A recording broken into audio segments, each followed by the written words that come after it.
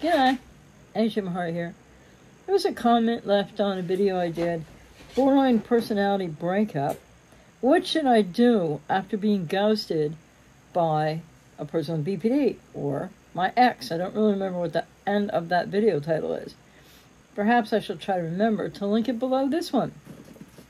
So, the commenter left two comments actually, and one was a grammatical nightmare, but if there is no one that will accept BPD, and so who will do?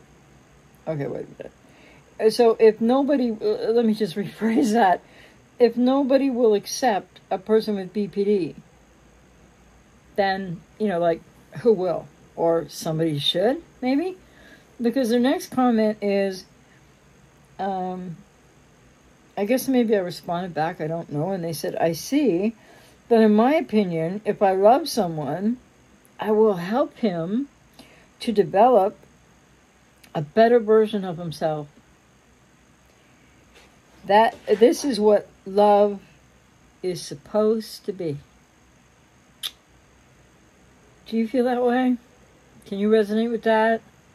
It's very codependent. It's not an interdependent or healthy sort of belief, opinion, thing to do, philosophy to hold, belief to have, right? Probably somewhat cognitively distorted. Commenter continues, Yes, I'll be hurting sometimes, but I need to accept this, not leave him because of something he didn't choose to be. Wow. I mean, you know what? That's at the core for a lot of people in these relationships with codependency. Is that so many people feel like if they leave, or if you were ghosted or discarded and you want to keep going back, that, you know, you have to because they don't have anybody else in their life. There's nobody else cares about them, in air quotes. Because people may care, but it's not healthy to keep so- sacrificing yourself in a relationship. And I know I've talked a lot about this, but this is one of the things where codependents really have already lost themselves to the point where they think, Tommy, Bobby, to the point where they think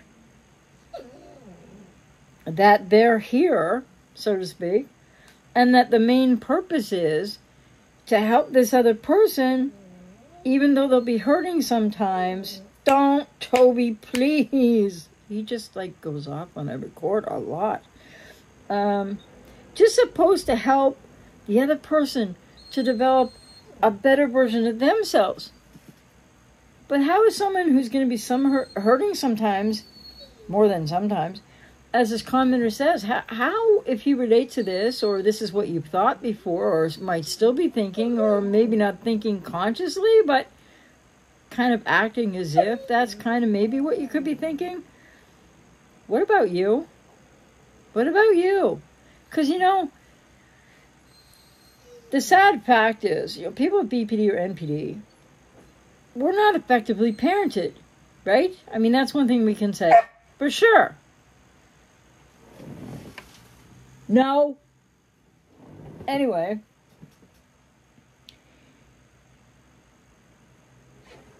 And so it was the person with BPD, in this case, or the person has NPD, there was a failure there by a parent or parents, family of origin, in their childhood. And no, those kind of parents don't care and don't give a child what they need in the first place. But that doesn't make it your job now. Because this is the object other, the borderline object other relation, I'm sorry, representation, object other representation that they cast everyone into if you're close to them in a relationship with them, right? This is where you become to them, unbeknownst to them consciously, although the odd one may understand this, they're looking for reparation from the wounding mom or dad. And that's not your job. And if you married somebody with BPD or you're dating somebody with BPD, or you know you, you were in a long-term relationship or even a shorter relationship with someone with bpd or npd for that matter it's not your job to parent them it's not your job to like this person says um, love someone to help them to develop to be a better version of themselves that's not healthy love that's not what relationships are for and as the commenter said that it's what love is supposed to be? No, it's not. Because this person with codependency, in codependency, there's secondary payoffs as well. And then people with codependency have to look at what that's about for them as you're getting hurt by someone else. And so, anyway, um, yeah, the secondary payoffs of codependency can also be something that is really working against people in, especially people with this opinion this mindset, these negative core beliefs, this belief that they can actually help somebody to become a better them. It, you know, it doesn't work that way. And actually, this person, no disrespect intended, really maybe would benefit more from helping themselves become a more developed human being, right? Hey, listen, Mr. Buster. Um, and so even though that they'll be hurting sometimes, they just say they need to accept this, not leave the person with BPD or NPD because of something that they didn't choose to be. What's that got to do with the price of coffee? Seriously. Like people with codependency, if you relate to that or you're becoming aware that you, you likely have codependency, did you choose that? Like, this is just this is the martyr victim codependent belief. Okay. I just need to hang in no matter what because who else is going to love them if I don't? Meanwhile, how are you loving them? You're enabling them, trying to, what, help them level up something when they're not even interested half the time or three quarters of the time? High percentage of people with BP and NP are not interested in getting better at all. And in the meantime, you're just going to sacrifice yourself to that? I mean, if you resonate with this, like I'm out here to work with you, right? I don't mean to be sounding judgmental. It's just that that is exceedingly codependent and exceedingly unhealthy and self sacrificing. And, you know, what goes through my mind is the question wow, how did this person get there? Because this is a person who's lost to themselves. And then in codependency, you know, people are parentified in childhood. People have maybe parents that argue a lot, and there's a lack of emotional safety. You could have a cluster B parent. And, and a lot of people I work with and I've worked with over the years they have a cluster B parent and a codependent parent. And some people don't have, they're not sure, but they think that their parents did a really great job and they had a fantastic childhood. The only problem is codependency, which many people do resonate with when they come to work with me, and the reality that there's this connection of adverse childhood experience and codependency is a response to that. And then a lot of people with codependency get into these relationships with a borderline or narcissist. And so you not only have to, you know, get help to break that unhealthy bond, but also and heal from that relationship, but also the family of origin work, you know, and and many other layers. But family of origin, how to individuate, how to know yourself, how to find yourself, because you know yourself well in some ways. Many people with codependency, but there are some people out there like this commenter who probably probably doesn't know themselves at all. Like they're they're probably just really so focused on the person, the borderline that they're enabling. Enabling is not ever healthy. And when you don't have mutuality and reciprocity, a lot of people with codependency and this loss of self, which isn't total, or like like people with BPD or NPD, it's it's not as severe a loss of self, but it's like things happen in people's childhoods, various many various different things. And children get hurt more easily you know, and, and it matters to their overall development. So people with codependency, you know, don't have the emotional arrested development of people with BPD or NPD, but they definitely do have an unhealthy relationship to and with self that's learned somehow in the family of origin. And, you know, I've, I've talked to many client that their parents are, let's say they were really well intentioned and they did a pretty good job and they did the best they could and maybe they're not cluster being a codependent. That can happen too. But there's still something that might have happened in someone's life in childhood that wasn't their parents' fault, or other things that create a woundedness that matters when you're a kid. And then you grow up and it gets like kind of shoved down into your subconscious. And it doesn't seem to matter. You know, like you're in a relationship with a borderline, you might still be going around the cycle and everything. And but like you think, you know, hey, I'm fine. My childhood was fine. My my parents were good parents. What a lot of people say to me in the beginning, till we really examine that, right? And so it doesn't mean you have to think anything right now about your, your unless you know something obvious about having a cluster B parent or you know a codependent parent or it, whatever. But the thing is, this martyr who's going to, and I, I'm not calling the person, I mean this martyr mentality of I'm going to love this borderline because nobody else will. And if nobody's going to stand up for any of them, then then I better just like, you know, I better help this one cuz it's what? So possible? No, it's not. I don't think that's funny by the way, but I'm just saying no, it's not and um and people need to realize that.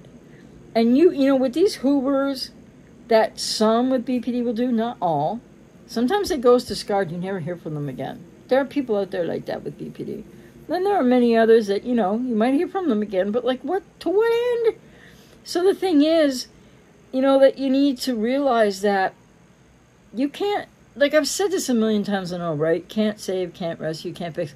But if you're enabling them, just by the very nature and definition of what that means, not getting any of your needs met.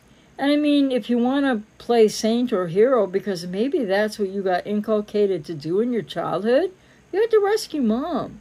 You had to rescue mom because she was always upset. She was going to get angry. Mom and dad were going to fight. You had to be the peacekeeper. You had to be, you know, really actively engaged, and involved. You had to be. You ended up getting hyper vigilant without knowing it because you were just going to make sure that everything was okay for everybody. Yeah, you know, that's a saint hero type codependent. And then we have the martyr, which is even like more severely codependent. The you know, the martyr mindset. I'm not trying to call someone, hey, you're a martyr. But uh yeah, so the thing is just gonna love them because nobody else will. Gonna help them to get better because they didn't ask to be this way. Did you ask to be a codependent? Did you ask to get into a relationship with a woman or man you're really attracted to, really excited about getting to know, to only find out that's not who they are, so that you could be their mommy or daddy? I don't think so, right? Like, people have to think about their own needs. It's not narcissistic. And so if you're enabling still or you, you and this might underpin a lot more people out there your mindset but like that you're not consciously aware of. That you really just want this person. You really want to just what are you going to do? Because nobody else cares and nobody else and still they might run away from you and push you away. So anyway i just thought i'd make this video just to kind of underscore again the importance, and I'm out here to work with anybody that resonates with me, of need the need for people with codependency to get into a healing recovery journey, even if you're still with the person with BPD, even if you're doing what the person in the comment is doing, right? It's like, what about you? It's really important. It's not like I'm saying, what about you and only you and you, you, you, you, you all day long. No, that's what narcissists are all about. But what about you because you are worthy of healthy love? And to make your love a little healthier and to work on some of the issues that go with codependency to varying degrees for people. And so this person has totally, and I mean this respectfully, not the way it's usually said, lost the plot. The plot of how we're supposed to grow up, or, it's meant for us to grow up, an adult, and be individual people knowing ourselves well with boundaries and self respect and self worth so that we won't put up with other people's you know lack of this lack of the other thing inability to do this they can't communicate they don't know how to make reparation they're not mutual they're not reciprocal because they're emotionally children and they just want you to be the parent they never had. And then there's the aspect of codependency not as profound as in BPD or NPD because because narcissists are emotionally children too running around looking for but in a whole like different framework of like ouch there. But so you know codependents are also looking for reparation from something that really hurt you in childhood. And it's not often as the same thing or as comparable or as primal as people with BPD and NPD but it's still really significant. And so, without knowing more about that and without healing that, not only may you stay with a borderline or a narcissist, but you might, you know, be ghosted or discarded by one, and then, you know, you start dating again and you might find the next one. Because I have a lot of clients who've been through more than one cluster B relationship. By the time, you know, another breakup occurs with one and they and they seek help finally and they well, you know, and people lots of people resonate with me and work with me, and of course, not everybody, but I'm just saying, a lot of clients have come to me and they're like, you know, like I realize now that like three relationships ago was a narcissist. And the last one, or two, the two ago, it was like somebody probably with BPD, and the last one, I don't even know if it was BPD or NPD, but people go through so much pain because, you know, that idyllic, or I, you know, that happens for some people that what's intended for us is to get the support, love, encouragement, nurture that we need going through the early stages of childhood development, which that can happen for a lot of people with codependency, but then there's other woundedness. But that we would come out of these, our families of origin, as individuals who've individuated and adulted. Well, even people with codependency Yes, you've adulted much more than somebody with BP or NP because they don't even get close to it without treatment, substantial and years of. But you might not have emotionally adulted. You might not have the boundaries and you don't have that healthy relationship to and with yourself because a lot of people never even think about that. Till you get into that cluster B relationship and now you're out of it or it's, you know, on off or all those scenarios and it's a world of hurt. And then someone like this commenter, lots of people are carrying around what this commenter said, but maybe not being aware of it.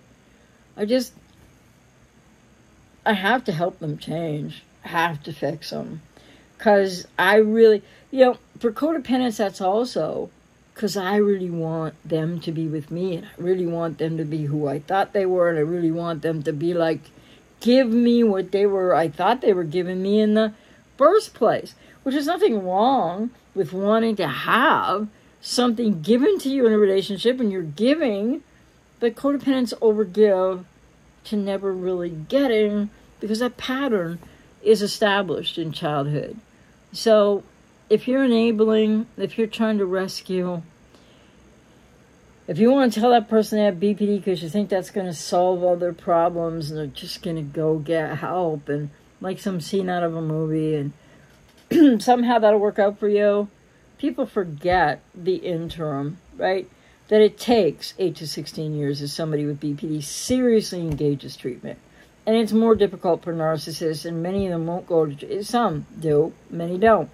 And then, same with people with BPD, really. And then what about the fact that if you're going to put all this energy into somebody with BPD, and like they're going to go to therapy. Well, they still need years and years, okay? So that's not really realistic. But the other thing is, and people think, well, if I could just get him into therapy, I think something's going to change really quick. It doesn't. And then what about you? Because you need to heal from your codependency. And I can just say, as somebody who did heal and recover from BPD, when I did, I didn't know that I was like really getting, I, I was close. I knew that. But I did, you know, before the therapist told me and, and showed me all the measurement tools and scales they used and but to chart, chart, I don't know, that's not even a word, to chart my my growth and progress through you know like like i had various therapy all along which helped and then the last three years primarily in that group but the point the only reason i bring that back up it's not my favorite thing to talk about really is um because once i healed and recovered i looked across the room at the partner i'd been with i'm always saying it's a 10 it was a 10 year relationship it's probably more like 13 but like i just don't remember i just you know because it doesn't matter now. But the point is, I looked across the room at this person I'd been with for minimum of 10 years. Like I said, I think it was 13, but, um, and it just was, was like, you know, wow. Like, and that, and that was before they told me to recover, but like, man, I was changing so much and I was busy in university and I was like doing stuff and I was, you know, playing sports and I was finding myself and I was, and this person was just not engaging life at all. And, um, I, you know, she was a quiet BPD, but because it was really hard to get her to go away. Because there's people like that with BPD, just cling, cling, cling, cling, and you can't uh, get rid of them, so to speak. Well, I don't, you know what I mean. And so the thing was, the more that I knew myself and the healthier I got, I was like, I don't want to be with this person. So, you know, that could happen to other people it's a person with BPD, but it would take years for them to work through it, right? It took me like a long time. But this is the other side that people don't think about. What, what if they really go and engage treatment? What if they really do start healing? What if they really do start changing? But like then they look back at you and go, nah, you know? So really when it doesn't work the first time and there's a breakup, ghost, discard, you leave, however, but there's a breakup, it's supposed to be it's healthiest if it's black and white. And the first breakup needs to be the last breakup, which isn't the case with so many people. Anyway, hope that was helpful. Hope it gives you food uh, food for thought, and that maybe if you think about it, you know, I was trying to come at these things from different perspectives, and and this commenter was just like a really severe example of that martyr, codependent martyr mentality and they're not going to get that person with BPD to change. They're not going to help them be a better person. And, um, oh, gee, I got to like sacrifice myself and my whole life, whatever else I might be doing, because this person, nobody else will care about them. And, um, they didn't ask to be this way. You know what? That's where learning to be an individuated person helps because then you can see it and maybe feel really sad for that person and say, but I have to get what I need and deserve in my life. And we all make these choices. Nobody chooses to have codependency. Nobody chooses to have BPD or NPD, but we all make choices in our lives about, you know, what what we want to do, what we want to pursue in terms of relationship, friendships, etc. And I just think that everybody needs to give themselves a chance to grow and to grow beyond where you might be right now and to heal and recover from these relationships, codependency, family of origin issues, and there's a multitude of other things in there for various different people that aren't always, you know, uh, the same exact issues. But to me, you know, I mean, I guess I've been on, I was on a healing recovery journey for the first, well, I mean, you know, well, 15, from the age of 15 to 30. And um, I was on the getting wrecked journey from the age of 0 to 15, um, which wasn't, you know, I didn't choose it, but whatever. I worked through it so that it no longer matters in my life. And it doesn't hold me back and it doesn't rule my life. And I'm not going to still blame my mommy and daddy, right? And, and, and I haven't done that since I was like 30. So the bottom line is like, and then like personal growth over the life cycle is a fantastic thing. We keep learning, keep growing, keep changing. You, you know what I mean? That's really what I think is like so important among other things in life. Not, well, I'm going to like, you know, sacrifice myself. This is codependency talking, right?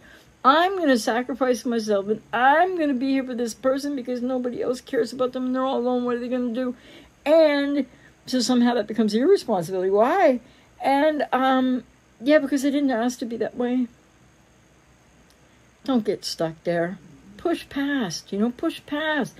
Dare greatly enough to take the risk of going, you know, to therapy, working with someone like myself or whoever you would choose, and find out what I'm talking about. Really get to know it intimately for yourself. Choose you today because you matter.